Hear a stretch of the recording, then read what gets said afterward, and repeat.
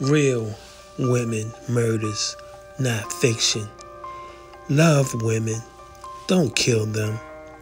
Giving real women, unknown women, recognition to the world. Please support our channel and please, please subscribe.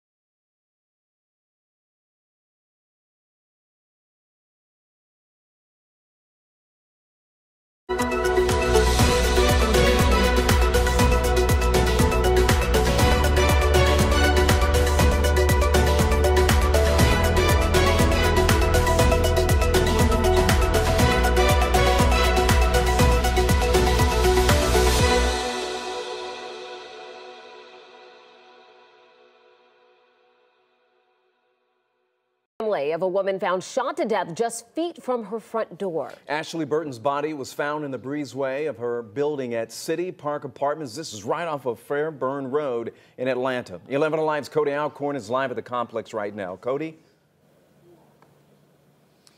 Ron, Jennifer, it's been almost 48 hours since Ashley was shot here behind me, and her killer has yet to be caught.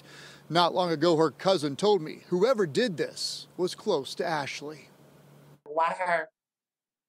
Why would it be somebody who's trying to make it, who's trying to better herself, who's trying to do right by people, who's trying to help? Why? Ivory Carter says her cousin moved to Atlanta to make a better life for herself. She was very known for doing hair and makeup.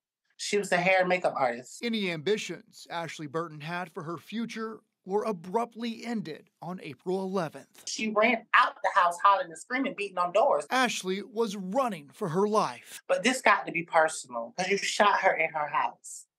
Then you followed her outside and shot her. Ivory says she can't imagine why anyone would want to kill her cousin. She don't put herself in them type of environments. That's why it's so it's that's why it's like I'm clueless to how. It was always positive people. But something very dark happened behind this crime scene tape on Wednesday. Atlanta police describing it as a domestic related shooting.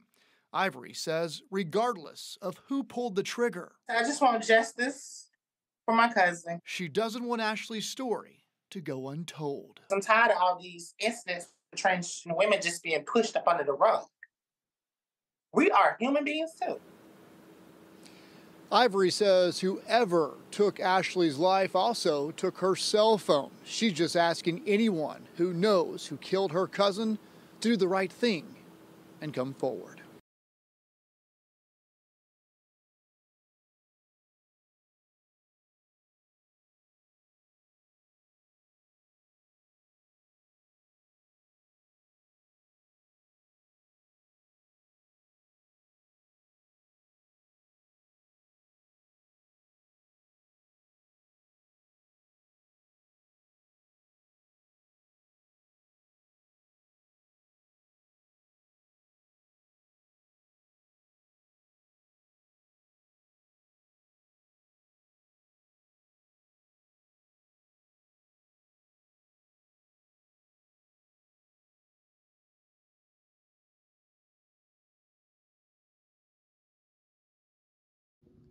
Thanks for watching. We appreciate you. Please, please subscribe.